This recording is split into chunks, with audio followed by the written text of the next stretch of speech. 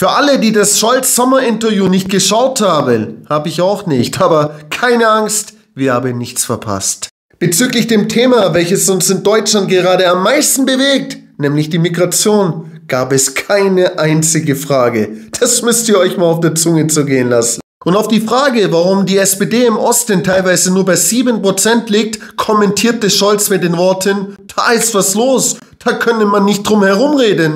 Viele Menschen seien mit der Unterstützung der Ukraine und den Sanktionen gegen Russland nicht einverstanden. Das schlägt sich auch in den Wahlergebnissen nieder. Es gäbe aber nicht die Alternative, dass wir das ändern. Nein, Leute, das ist das Mindset der SPD. Deswegen, warum sind die eigentlich noch bei 7%?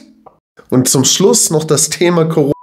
Ich sage nur so viel, schaut euch diesen Clip an und entweder konnte sich Scholz nicht erinnern oder er hat wie immer. Schreibt's mal in die Kommentare, wie ihr das seht.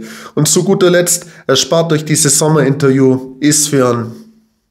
Haut rein! Es hat ein paar Entscheidungen gegeben, die drüber waren. Also warum man zu bestimmten Zeiten nicht draußen spazieren gehen konnte, wenn man eine Maske trug und niemandem begegnet im Wald. Das sind sicherlich, das habe ich nicht verstanden und das glaube ich hätte nicht äh, sein müssen. Ich bin überzeugt, dass die Ausgangsbeschränkung hilft. Okay. Und deshalb bin ich auch davon überzeugt, dass es richtig ist, sie in dem Gesetz da reinzuschreiben. Ja. Wir werden die konkreten Bedingungen jetzt mit dem Bundestag und den Ländern festlegen. Das muss klug und lebensnah geschehen. Das wird auch am Ende so sein. Und dann, dann haben wir diese Regelung, die auch für viele Bürgerinnen und Bürger eine große Erleichterung ist, weil sie dann wissen, woran sie sind. Also ich bin überzeugt, dass das wirksam ist. Okay.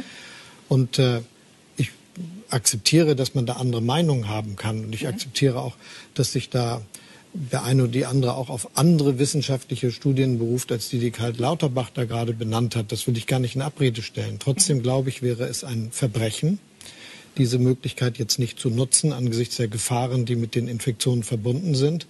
Und da hilft es dann auch nicht, dass wir die nächsten 30 Studien abwarten, bevor wir was entscheiden. Wir müssen jetzt handeln.